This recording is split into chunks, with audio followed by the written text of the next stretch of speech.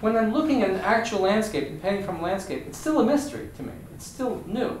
If it's not new, I don't try. I don't do the painting. I don't. I'm not interested. But um, It's almost like the way you're holding that and using your palette knife, it's like, it's like another palette you're creating.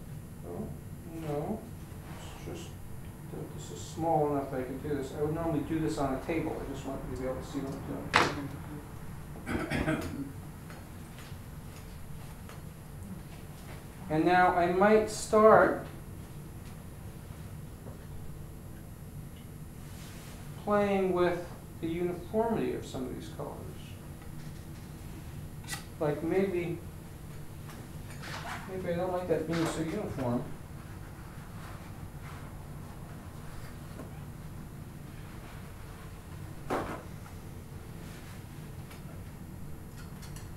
Maybe I like, kind of like what this white did with this orange.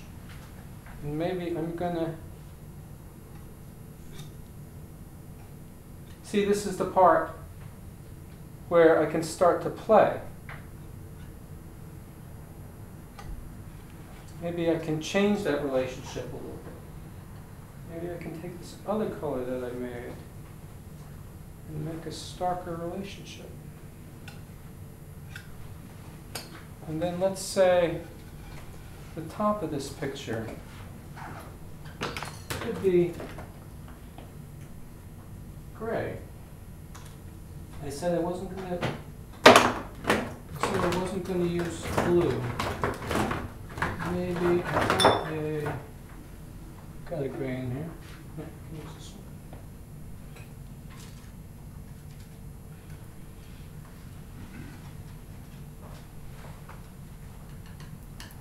It's a warm gray.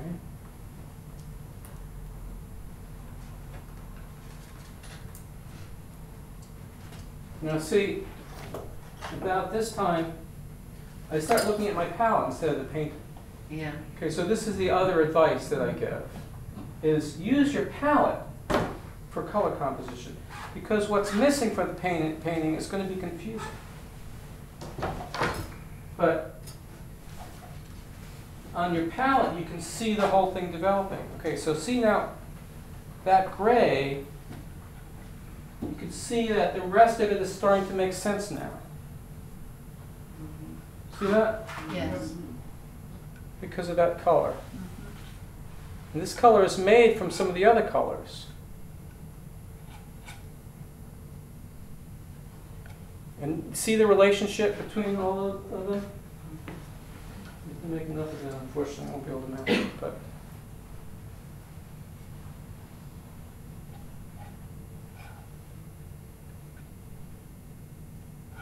Okay, I probably don't have time to finish this whole exercise. But I think that gives you a good idea of why this is more complex than it, than it seems. Okay, you see, up till now it wasn't anything. It was just a bunch of colors put together. And what happened? Can you tell? Yeah, but why? Can you tell what happened? It got, at least for me, the gray is sunk way back. It turned into space. Yeah. Exactly.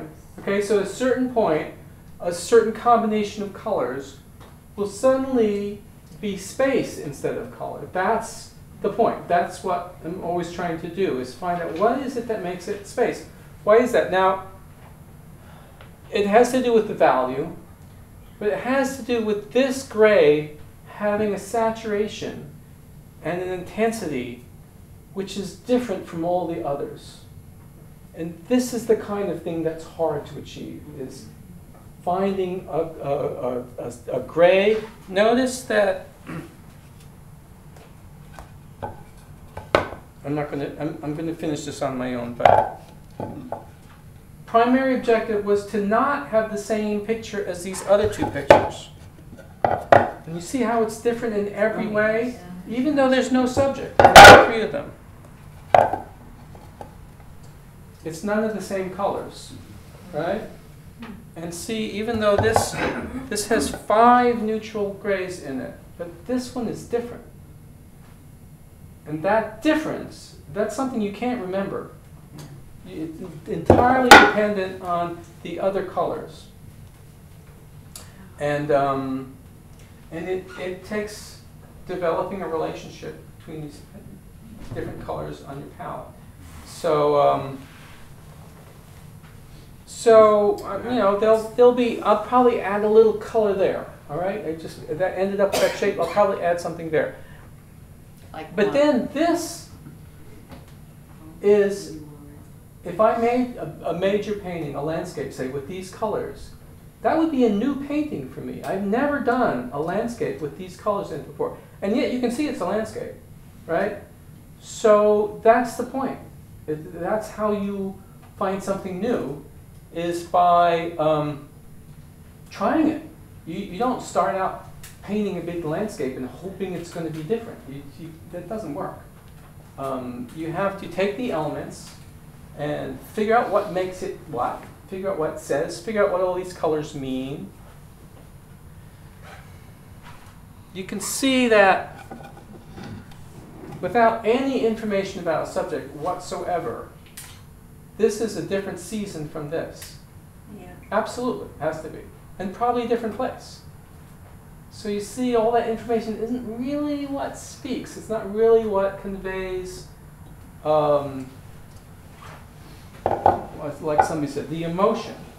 Okay, the emotion is very elusive. It's, um, it's, it's not amount of information.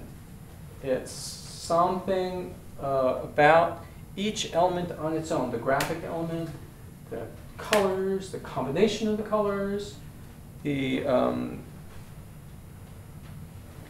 the, um, and, and especially the physical qualities of the thing that you're making. This is what modernism is all about. Formalism is what formalism is all about. The physical qualities of the thing that you're making. I can't tell you how many artists I know who fall in love with all this paint on their palette and tear their hair out when it gets on the canvas because it's gone when they do painting. And they look at the pa- panel, pa- palette and they go, but it's all makes sense, it's beautiful, and then this doesn't. Why? Because of confusing different objectives together on the canvas, and, and you, you can't control everything at once. So, uh, How did you get the high heel shoe in there? the high heel shoe. The red shoe. Oh, Yeah. Well, of course, this is what attracts people to abstraction, is is suggestivity. Um, and, and abstract, uh, many uh, art, art, people who write about art will tell you that uh, the point of abstract painting is for it to not look like anything. But that's not true at all. Um, you know, there's a, a great, the Franz Kline in the Modern, that's one of their signature pieces in their collection, looks like a big hornet or bug or something like that. And you can't help but think that. I mean, it's not like it doesn't suggest anything to you, which, which was conventionalism, is that it shouldn't suggest anything to you, it's abstract. But all of our images of things are all encoded in abstractions. So the idea that abstraction and realism should be uh, separated from each other, I don't, I don't agree with that at all. I think they're two sides of the same coin. And, um, and that's kind of part of what I'm getting at. So I think it's really time for wine.